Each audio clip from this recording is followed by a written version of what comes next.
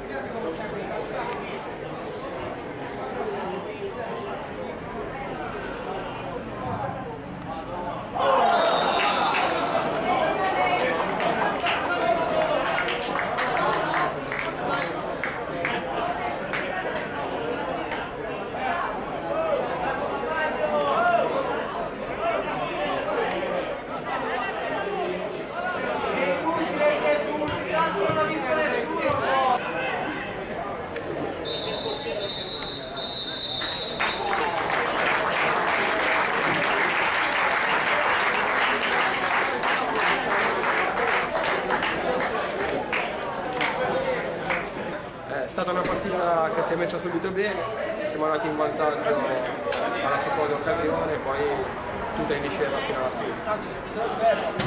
Siete arrivati a otto vittorie consecutive, una striscia adesso com- comincia a essere molto consistente di vittorie. A questo punto non ci nascondiamo, bisogna puntare a vincere il campionato, a vincere il più che possiamo. Siamo in tanti, abbiamo un bel gruppo, oggi c'erano fuori 4-5 giocatori che in altre squadre può darsi potevano anche giocare titolare, di conseguenza bisogna vincere con forza, dare a fino fino alla fine e puntare a vincere il campionato. Allora abbiamo il capitano del Framura, un commento sulla partita di oggi. No, è stata una partita diciamo poco equilibrata, loro era- hanno giocato meglio, hanno vinto meritatamente, il risultato diciamo magari un po' pesante, poteva, poteva starci magari un gol anche da parte nostra, comunque eh, va bene così, ci rifaremo. Sì, anche perché non era certo l'avversario di oggi quella con cui dovevate fare punti. Sì, noi contavamo di venire qua a fare un risultato positivo, ma avevamo già messo in preventivo che poteva essere anche una sconfitta, non è la parità della vita, ci rifaremo.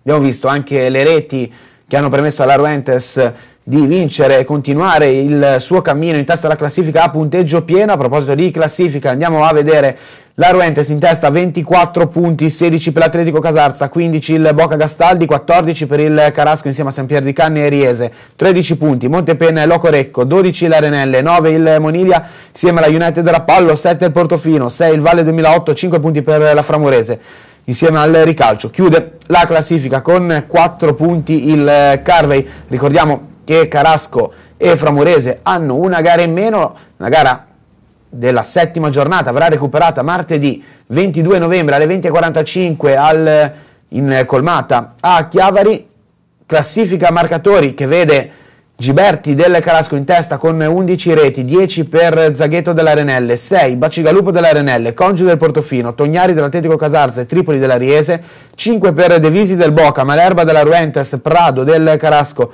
Rea del Montepenna, 4 reti, Gallo dell'Atletico Casarza e Pelosin della Ruentes, altri 12 giocatori a 3 reti, 26 giocatori si trovano a 2 gol e 54 giocatori ad una rete.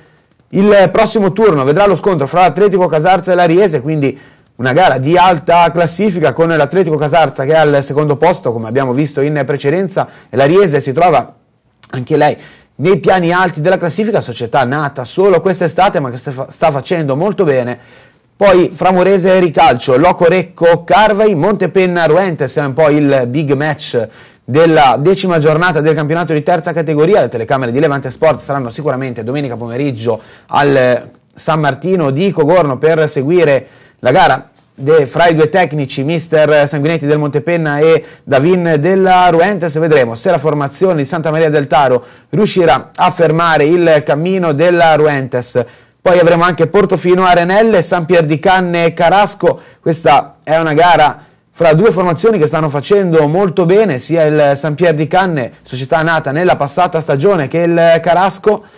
Poi United, Rappallo e Moniglia e chiude la decima giornata Valle 2008 Boca Gastaldi.